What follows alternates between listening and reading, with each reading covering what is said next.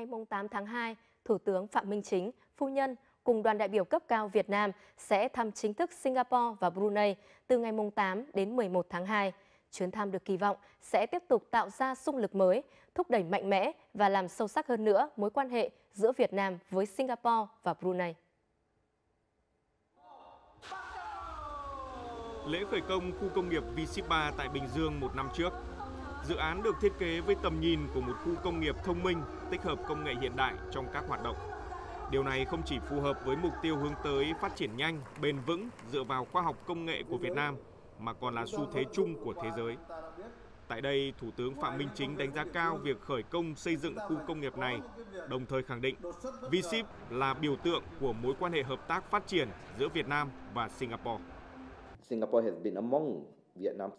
Trong 3 năm qua, Singapore là một trong những nhà đầu tư nước ngoài lớn nhất ở Việt Nam. Tiêu biểu, 12 khu công nghiệp Việt Nam Singapore V-Ship trải dài khắp các tỉnh thành phố thuộc ba miền Bắc Trung Nam đã tạo ra công ăn việc làm cho trên 300.000 lao động, thu hút hơn 17 tỷ đô la Mỹ vốn đầu tư, hướng tới đổi mới sáng tạo, đóng góp vào sự tăng trưởng của Việt Nam. Không chỉ trong kinh tế, những năm qua, Việt Nam và Singapore đã tăng cường hợp tác toàn diện trên tất cả các lĩnh vực quốc phòng, phát triển hạ tầng, thương mại, logistics, môi trường, giáo dục đào tạo, nâng cao chất lượng nguồn nhân lực. Năm ngoái, hai bên cũng đã nhất trí nghiên cứu xây dựng khuôn khổ quan hệ đối tác kinh tế số, kinh tế xanh. Và đây cũng là một trong trọng tâm hợp tác được thúc đẩy trong chuyến thăm này của Thủ tướng Phạm Minh Chính. Đây là một cái sự kiện hết sức quan trọng bởi vì là sự kiện mở đầu trong một loạt các sự kiện sẽ diễn ra tại hai nước nhằm kỷ niệm 50 năm thiết lập quan hệ ngoại giao và 10 năm đối tác chiến lược. Tại chuyến thăm lần này thì thủ tướng hai nước sẽ bàn các biện pháp để cụ thể hóa những thỏa thuận các nguyên thủ đã thống nhất trước đây và tìm ra những phương hợp tác mới trong thời gian tới. Còn với Brunei, Việt Nam và Brunei đã nâng cấp lên quan hệ đối tác toàn diện vào tháng 3 năm 2019. Trong thời gian tới, hợp tác trong các lĩnh vực năng lượng, nông nghiệp, giáo dục, hợp tác biển, giao lưu nhân dân tiếp tục được hai nước chú trọng phát triển. Chuyến thăm lần này thì ờ, cũng có cái ý nghĩa rất là đặc biệt bởi nó một lần nữa khẳng định cái chủ trương đường lối ờ, của Đảng và nhà nước ta ờ, coi trọng và thúc đẩy cái quan hệ hợp tác với các nước láng giềng, các nước khu vực ASEAN. Với chuyến thăm lần này, chúng ta cũng mang tới cái thông điệp mong muốn tăng cường hơn nữa cái đoàn kết giữa các nước ở trong khu vực Đông Nam Á, các nước ASEAN à, bởi Brunei và Singapore là hai thành viên à, rất là quan trọng của ASEAN. Đây là chuyến thăm Singapore và Brunei đầu tiên của Thủ tướng Phạm Minh Chính trên cương vị Thủ tướng Chính phủ.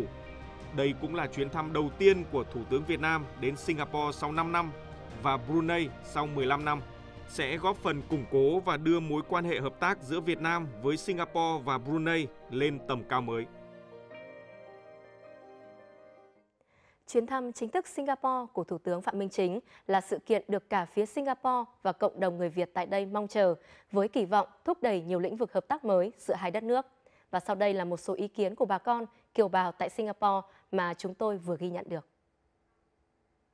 À, thời gian tới sẽ rất nhiều cán bộ của Việt Nam, à, à kể cả những cán bộ quy hoạch cao cấp của Đảng và Chính phủ sẽ sang Singapore à, để, để à, tham gia học hỏi. À, thì đấy là một cái vấn đề rất là quan trọng Ờ, và ngoài ra những cái nội dung mang tính chất chuyên môn hơn như là chuyển đổi số hay chuyển đổi xanh à, hay là các cái lĩnh vực khác ờ, hai bên cũng sẽ thiết lập những cái cơ chế để có thể uh, đi sâu hòa vào và mở rộng ra nhiều cái quan hệ. Thì tôi tin là cái cuộc gặp này giữa hai thủ tướng cũng như hai chính phủ uh, sẽ có những bàn uh, luận uh, rất là sâu sắc uh, sâu rộng. Và tôi tin là thủ tướng phạm minh chính uh, sẽ đề xuất một số cái sáng kiến cụ thể để hai bên uh, có thể bắt tay vào trong năm 2023 này trong chuyến thăm sắp tới của Thủ tướng ờ, Chính phủ ờ, đến Singapore thì cộng đồng người Việt Nam rất mong muốn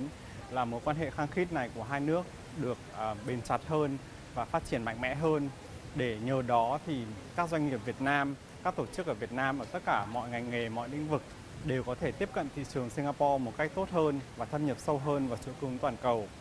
À, là một sinh viên Việt Nam tại Singapore, em hy vọng trong chuyến thăm sắp tới của Thủ tướng Chính phủ Phạm Minh Chính tới Singapore, à, bọn em rất là hy vọng trong thời gian tới sẽ có thêm nhiều những cái hoạt động dành cho các bạn sinh viên Việt Nam tại Singapore cũng như là có thêm nhiều những cái cuộc trao đổi giữa học sinh Singapore và học sinh Việt Nam. Tôi hy vọng chuyến thăm sắp tới của Thủ tướng sẽ thúc đẩy uh,